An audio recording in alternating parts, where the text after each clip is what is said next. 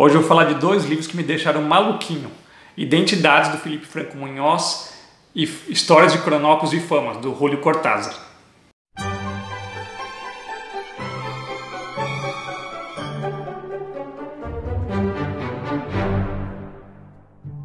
Oi pessoal, tudo bem? Eu sou o Humberto, esse aqui é o canal Literário Primeira Prateleira.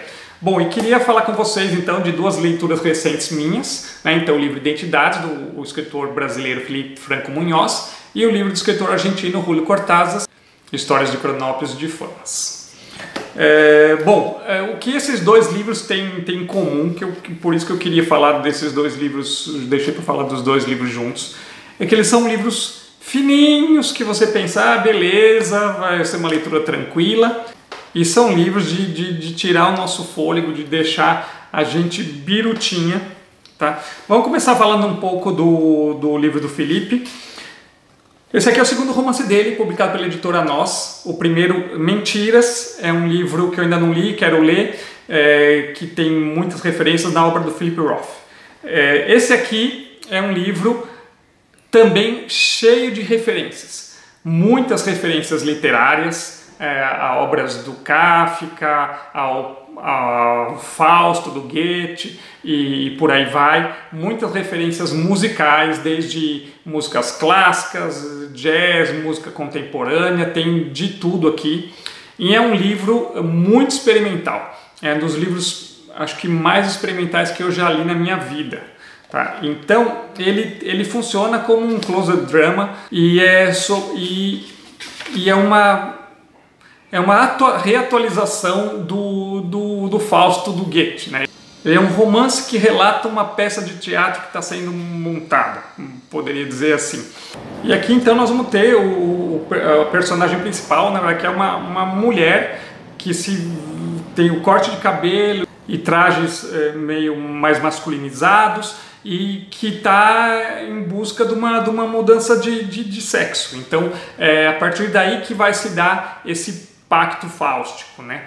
É, eu tenho que ser sincero com vocês, é um livro que eu acho que eu não, não eu precisa ser relido. Eu, não, acho que eu não consegui entender nem metade das referências e das coisas aqui que ele está querendo dizer, mas eu acho que ele é para isso mesmo. O livro é, tem que ser a leitura, né? O livro do autor é uma coisa e a construção que cada um vai dar é, é outra, a, a, leitura que cada um vai fazer é outra, e eu acho que essa foi a intenção do Felipe ao escrever essa obra. É, provocar em cada um uma leitura diferente, porque é um livro com, com tantas referências que, que, que nos remete a uma, uma história pessoal é, dele como escritor e na construção desse, desse romance é, é, lógico que ela não vai bater com a história pregressa de cada um e com as referências de cada um. As referências que cada leitor vai ter vão ser diferentes da, das do autor. E aí que se forma as leituras diferentes. Ele é um livro muito experimental porque assim, além dessa forma de como ele é construído, ele tem, ele é formado por vários poemas, ele é formado por partituras musicais, por páginas que são só tracejados de, de, de pontuação. Você tem que ver, deixa eu mostrar você tem páginas que estão assim, você tem, olha só, construção desse, desse texto, você tem, olha aqui, estão vendo? Repetição de, de, de, de, palavras. Então você tem várias partes que são construções concretas mesmo. Você tem partes onde o texto está escrito de, de, de trás para é, frente, meio espelhado. Você tem partes onde você tem é, partituras musicais com palavras aí que a gente vai decifrando o texto aí no meio. Tá? Então é uma, é uma experiência diferente, uma coisa inusitada que a gente não está acostumado a ver todo dia.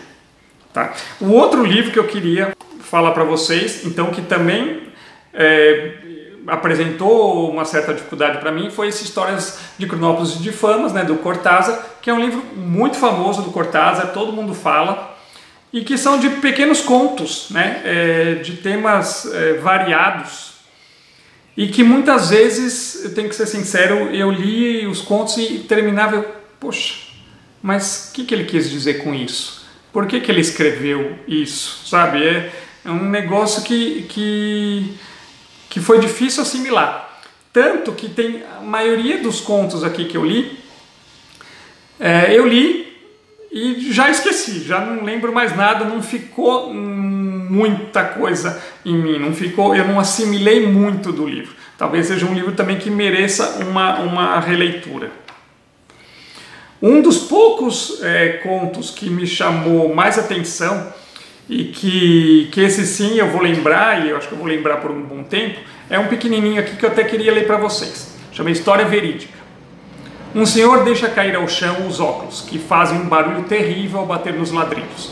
O senhor se abaixa aflitíssimo porque as lentes dos óculos custam muito caro, mas descobre assombrado que por milagre elas não se quebraram. Agora esse senhor sente-se profundamente grato e compreende que o acontecimento vale por uma advertência amistosa, de maneira que se dirige a uma ótica e compra logo um estojo de couro acolchoado, com proteção dupla, como, como precaução. Uma hora depois, deixa cair o estojo e, ao abaixar-se sem maior preocupação, verifica que os óculos viraram farelo. Esse senhor leva tempo para compreender que os desígnios da providência são insondáveis e que, na realidade, um milagre aconteceu agora. Então é isso, esse, esse foi o, o, o conto que mais me marcou nesse livro. Tem um outro aqui que eu deixei anotado também, mas já deu para vocês terem uma, uma ideia aí do, do texto. E aí, você já leu alguma dessas obras? O do Cortázar eu sei que é uma obra que muita gente conhece. Queria saber se vocês já leram, vamos conversar aí nos comentários, tá bom? Então é isso, por hoje é só. Um abraço, até mais.